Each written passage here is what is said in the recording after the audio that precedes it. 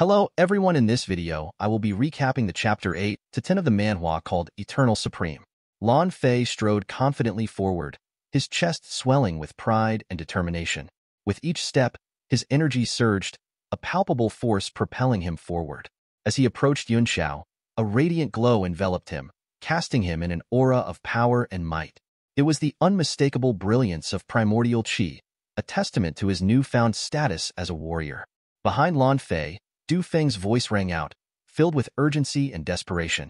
His plea for vengeance echoed in the air, a stark reminder of past grievances. Yet, his discomfort was evident, his movements hindered by the burden of bandages wrapped tightly around his crotch. Beside him, Luo Jie seethed with anger, his features contorted with fury as he bristled with pent-up rage. Yun Xiao's gaze fell upon Lan Fei, his expression a mix of skepticism and disdain. He couldn't help but mock the ostentatious display of power, likening Lan Fei's glow to that of a luminous pearl. His attention briefly shifted to Han Bai and Chen Zhan, assessing their injuries with a sense of relief upon confirming they weren't fatal. However, beneath the surface, a simmering rage smoldered, his eyes betraying his murderous intent. Lan Fei recoiled at Yun Xiao's taunt, his bravado faltering momentarily in the face of such disdain. With a tremor in his voice, he issued a threat, his words dripping with malice as he demanded submission from Yun Xiao. The prospect of exacting revenge for Du Feng's suffering fueled his resolve, driving him to assert his dominance over his adversary. Yun Xiao's response was swift and cutting, his tone laced with cold fury. A surge of energy emanated from him, though lacking the overt power of primordial qi, it carried an undeniable force that sent shivers down the spines of all present.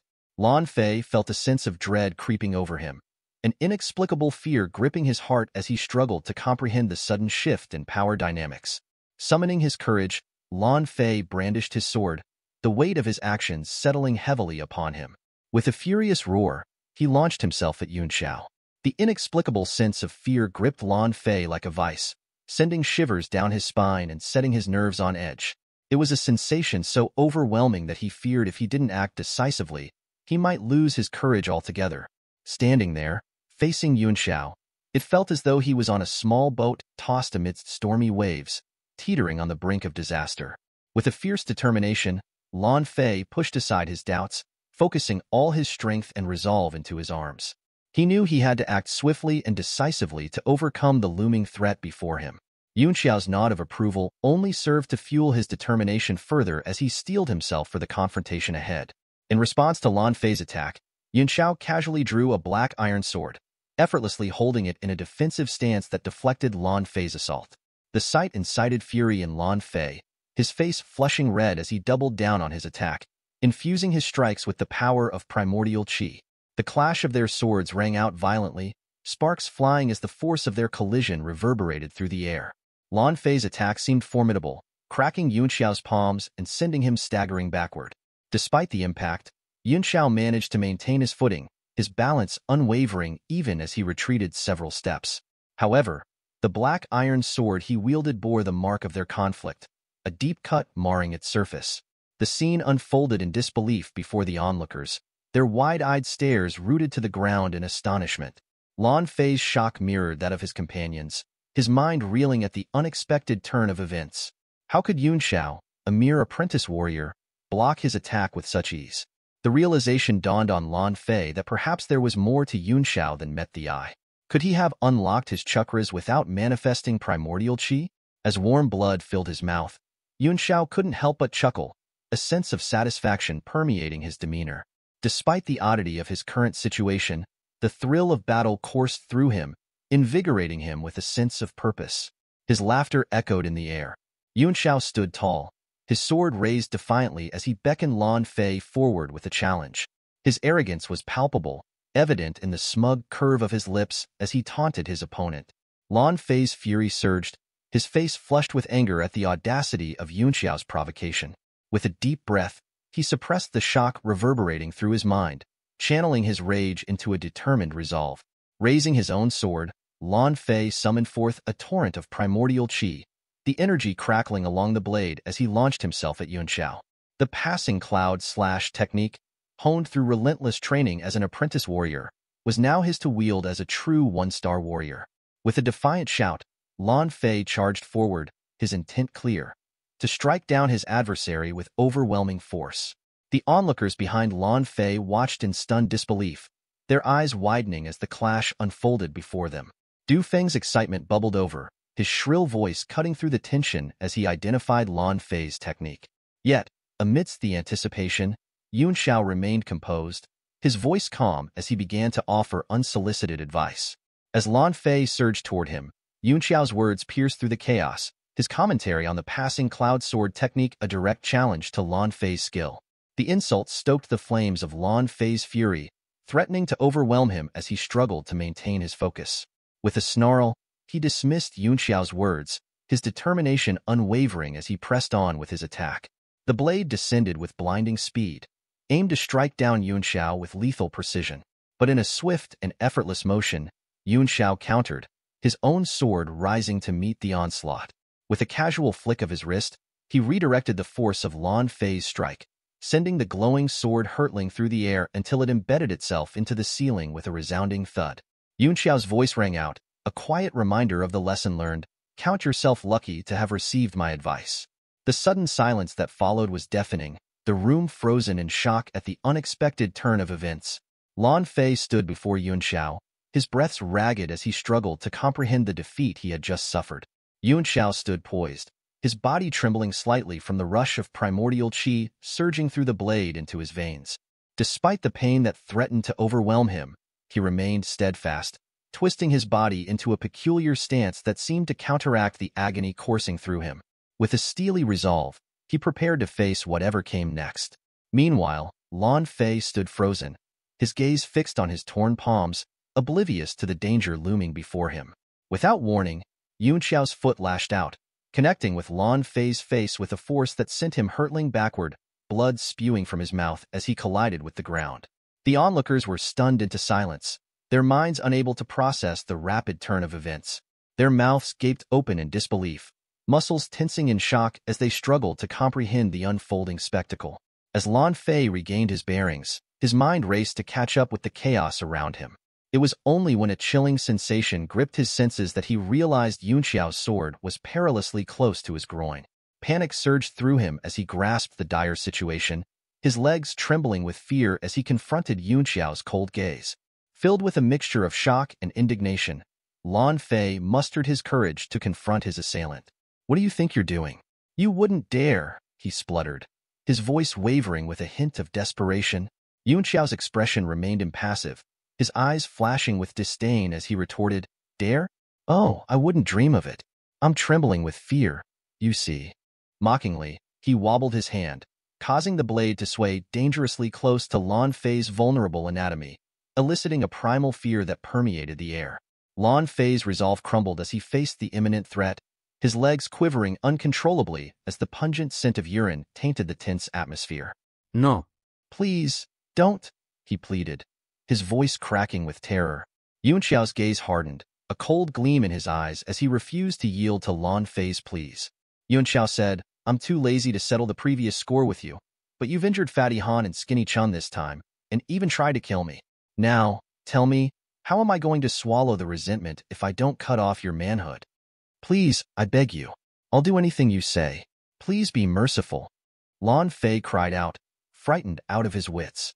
After all, he was only a 15-year-old teenager, so his arrogance and courage were instantly gone at the prospect of losing his manhood. The dozens of students present, too, were all teenagers of apprentice warrior level. Although they had witnessed their boss, who was so lofty and mighty during normal times, lay wailing on the ground like a weakling and even peeing his pants, none of them thought of him a disgrace.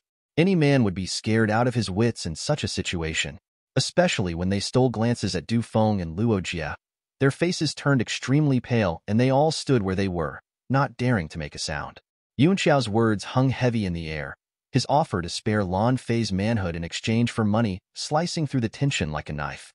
Lan Fei's heart leaped at the lifeline dangled before him, a desperate hope blooming in the face of impending doom.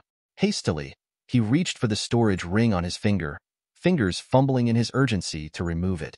But as panic seized him, the ring seemed to resist, clinging stubbornly to his finger despite his frantic efforts. With a glance that pierced through the crowd, Yun Xiao's demand sent shockwaves rippling through the onlookers. Each one hurriedly complied, their hands reaching for their own storage rings, eager to appease the ominous figure before them. As the rings were relinquished, Yun Xiao's gaze returned to Lan Fei, his demeanor cool and calculating. Trembling but emboldened by the prospect of escape, Lan Fei dared to voice his question, a glimmer of hope flickering in his eyes. Yet, before he could receive an answer, Yun Xiao's attention was drawn to a jade pendant hanging from Lan Fei's waist. His heart skipped a beat at the sight, and with a deft flick of his sword, the pendant was snatched from its resting place and into Yun Xiao's grasp. A flicker of surprise danced in Yun Xiao's eyes as he admired the intricate design of the pendant. Despite Lan Fei's protests, his grip on the precious heirloom tightened, a possessive gleam lighting up his gaze. Lan Fei's face paled at the sudden turn of events, his voice trembling with desperation as he pleaded for the return of the pendant. But Yun Xiao's cold glare bore into him, unwavering in its intensity. Panic surged through Lan Fei, his forehead slick with cold sweat as he implored Yun Xiao to understand the pendant's significance. It was not just a trinket. It was a cherished heirloom, a symbol of his family's legacy. To lose it would mean facing the wrath of his family, a fate too dire to contemplate. Yun Xiao's demeanor hardened as he raised his sword, his voice cutting through the tense atmosphere like a blade. The group of teenagers trembled in fear, their eyes darting anxiously between Yun Xiao and Lan Fei, awaiting his decision with bated breath. Lan Fei's expression darkened considerably, torn between his own desires and the well-being of those who had accompanied him. In his heart, the jade pendant held immeasurable value, a cherished heirloom passed down through generations. Yet, the weight of responsibility pressed heavily upon him as he considered the fate of the teenagers who looked to him for guidance. These youths were not just random acquaintances. They were the children of families intricately tied to the Lan family, some even direct descendants. To forsake them in favor of his own possessions would not only betray their trust, but also tarnish his reputation irreparably. The thought of condemning them to such a fate filled Lan Fei with a deep sense of shame and guilt. A momentary pause that seemed to stretch on infinitely until a voice broke through the silence. Boss! The cry rang out, breaking the stillness as one of the girls among them couldn't contain her urgency any longer. Lan Fei's expression tightened at the interruption, his features contorted with a mixture of anger and frustration. With a deep breath, Lan Fei finally spoke, his voice resonating with authority despite the turmoil raging within him. He declared his decision, prioritizing the lives of his companions over his own possessions.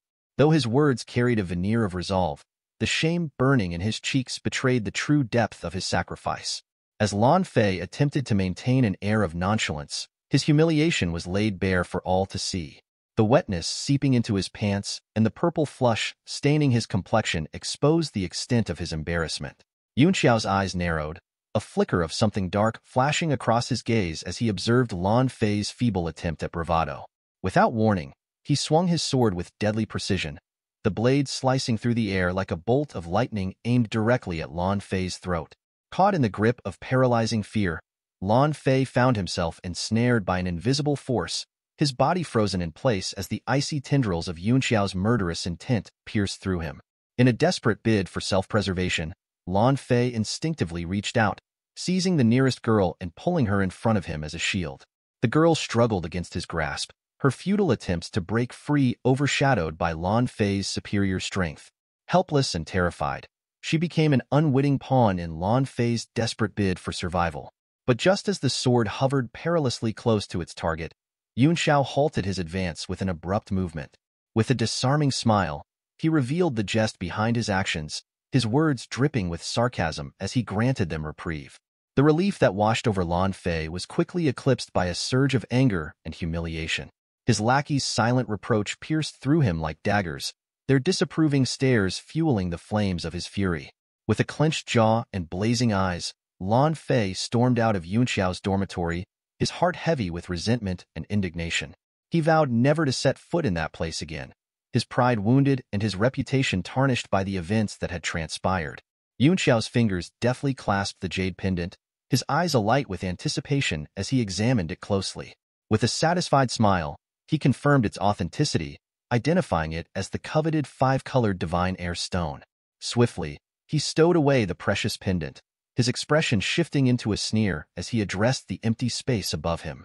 It's about time for you to show yourself after looking for so long, he taunted, his voice laced with arrogance and triumph. The silence that followed was broken by a sudden disturbance from above as Jia Rong, cloaked in black attire, descended gracefully from the ceiling. As Jia Rong landed on the ground, his gaze locked onto Yun Xiao, a myriad of emotions swirling in his eyes. He regarded Yun Xiao with a mixture of disbelief and curiosity, his mind reeling from the events he had witnessed. Despite his initial intentions to confront Yun Xiao and extract the cure by force, Jia Rong now hesitated. The display of power he had witnessed left him wary and uncertain of his ability to overpower Yun Xiao. Despite being a mid-tier warrior, he harbored doubts about his chances of subduing Yun Xiao, let alone capturing him alive. Yun Xiao's casual inquiry snapped Jia Rong out of his reverie, prompting an automatic response as he relayed his findings. Maintaining a facade of composure, he explained the challenges he had faced in procuring the necessary ingredients, expressing regret at only being able to secure six sets due to the rarity of certain herbs. Yun accepted the report without hesitation, his tone dismissive as he instructed Jia Rong to hand over the herbs. However, his attention quickly turned to the injured Han Bai and Chen Zhan, indicating that they should be healed first. Jia Rong's initial compliance faltered at Yun command, his expression darkening as he bristled at being ordered around. His frustration bubbled to the surface as he challenged Yun Xiao's authority, refusing to be treated as a subordinate. Unfazed by Jia Rong's defiance, Yun Xiao met his glare with a cold stare, issuing a blunt ultimatum. Jia Rong seethed with anger, his frustration palpable as he grappled with the indignity of being ordered around by someone he considered beneath him. Despite his prestigious status as a mid-tier warrior and esteemed alchemist, he found himself reluctantly complying with Yun Xiao's demands. The weight of his own vulnerability in the face of Yun Xiao's power left him feeling powerless and humiliated.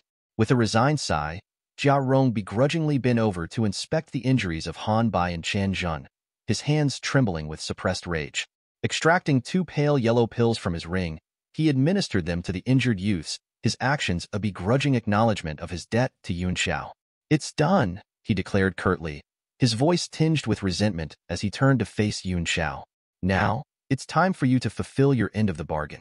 I've done everything you asked, and I won't be taking any more orders from you. Yun Xiao's response was a subtle blend of amusement and condescension, his words dripping with sarcasm as he taunted Jia Rong. The implication that Jia Rong would eventually beg to be commanded by Yun Xiao only fueled Jia Rong's frustration, prompting an outburst of anger. Enraged by Yun Xiao's insinuations, Jia Rong accused him of deceit, his voice filled with indignation. However, Yun Xiao's dismissive retort only served to exacerbate Jia Rong's fury, leaving him seething with resentment. As Yun Xiao nonchalantly produced a piece of paper and sent it flying towards Jia Rong, the force behind it took Jia Rong by surprise. Catching the paper with a mixture of apprehension and curiosity, Jia Rong's expression darkened as he read its contents. Though uncertain of its accuracy, he could discern enough to realize that Yun Xiao had not deceived him. With a heavy heart and a begrudging acknowledgement of Yun Xiao's integrity, Jia Rong conceded defeat. Despite his lingering resentment, he knew that he was indebted to Yun Xiao and that their agreement had been fulfilled. With a final glance of disdain, Jia Rong turned to leave, his pride wounded but his honor intact. As Jia Rong made his way out, his steps heavy with a mixture of resentment and resignation, Yun Xiao's voice cut through the air with deliberate calmness. His words hung in the air, laden with an unsettling certainty that sent a shiver down Jia Rong's spine. The prescription can remove the toxin of both the Hellwind Stone and Blood Fame Orchid from your body without leaving behind any side effects, Yun Xiao stated casually, his tone betraying a hint of amusement at the revelation. But it was the next words that struck Jia Rong like a thunderbolt, freezing him in his tracks. The mention of the regression of his soul power sent a chill coursing through his veins, his body going rigid with shock. The realization that his very essence, the sole power that defined him as an alchemist, had been corroded by the toxic substances he had been exposed to was a bitter pill to swallow. Yun Xiao's words painted a bleak picture of the future, one where the road to recovery was fraught with insurmountable obstacles. The prospect of spending decades in a futile attempt to regain his former prowess weighed heavily on Jia Rong's mind, threatening to crush his spirit under its oppressive weight. The mention of a shortcut, however, sparked a glimmer of hope amidst the darkness. But it was a fragile hope, one that seemed almost too good to be true. Jia Rong's skepticism bubbled to the surface, his voice trembling with uncertainty as he dared to question Yun Xiao's offer. Yun Xiao's response was swift and cutting, his words laced with disdain as he dismissed Jia Rong's doubts with a contemptuous sneer. The implication that he would stoop so low as to lie to someone like Jia Rong struck a nerve, stoking the flames of Jia Rong's indignation. Jia Rong's mind whirled with conflicting emotions, torn between disbelief and desperation. The allure of reclaiming his lost power in a mere 50 days was too tantalizing to ignore, even if it meant placing his trust in someone as enigmatic and untrustworthy as Yun Xiao. With a heavy heart and a sense of trepidation, Jia Rong swallowed his pride and yielded to Yun Xiao's offer, his voice a shaky whisper as he beseeched Yun Xiao for reassurance. Yun Xiao's index finger rose, pointing assertively as he spoke, his voice carrying a cold, confident tone.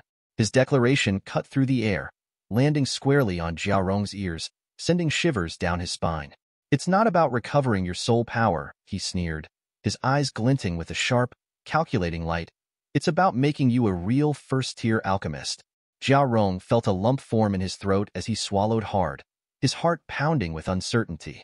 What do you need from me so that you can help me? He managed to stammer out, his voice trembling with a mixture of fear and curiosity. Be my servant.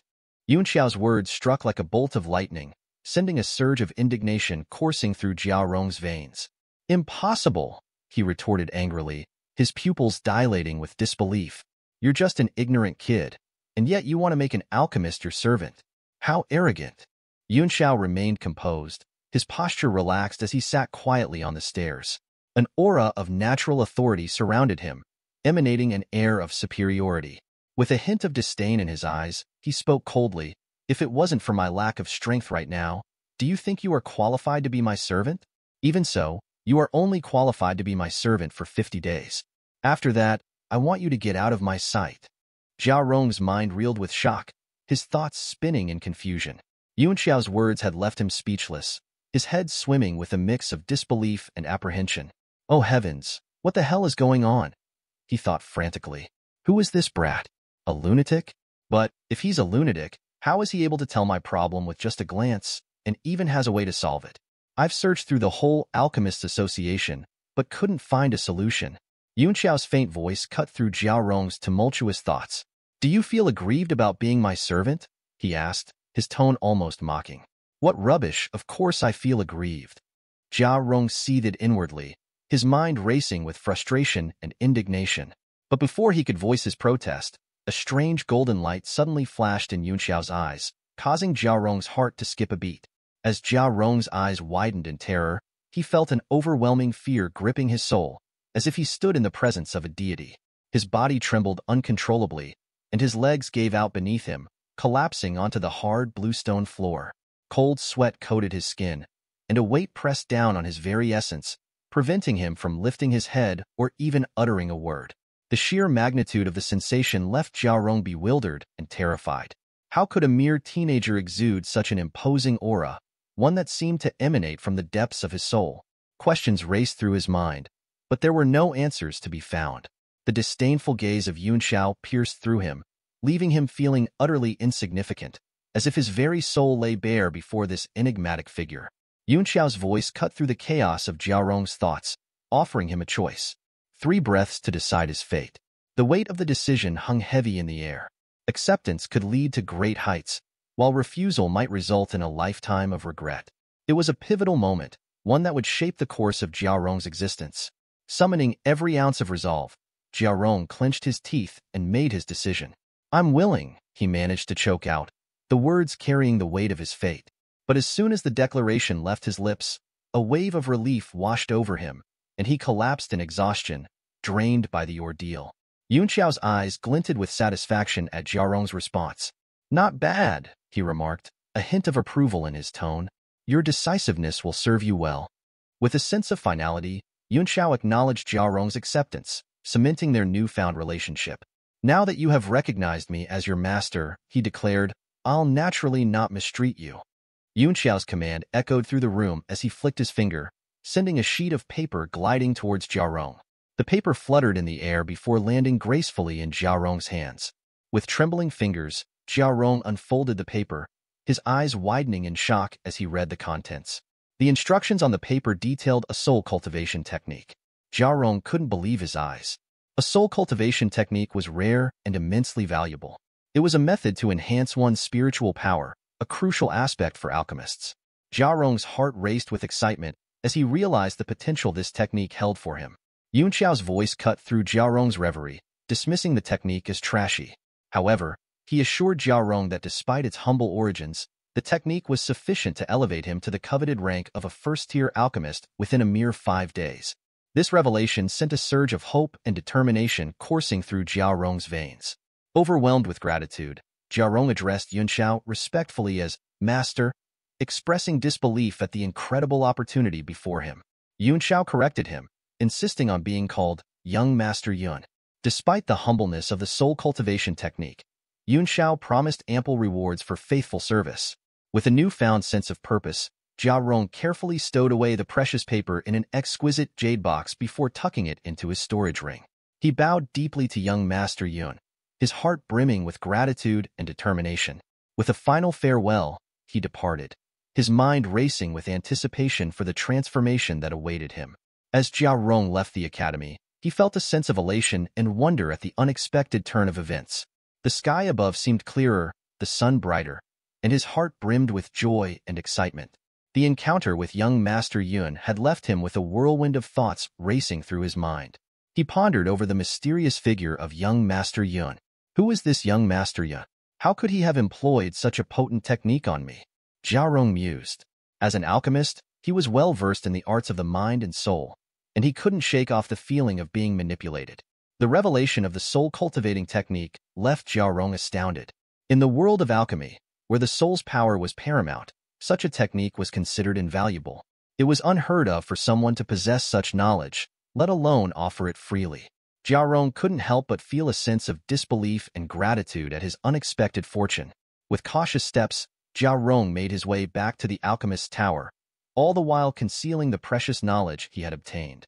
Despite his excitement, he knew the importance of keeping such information hidden, especially in the competitive world of alchemy.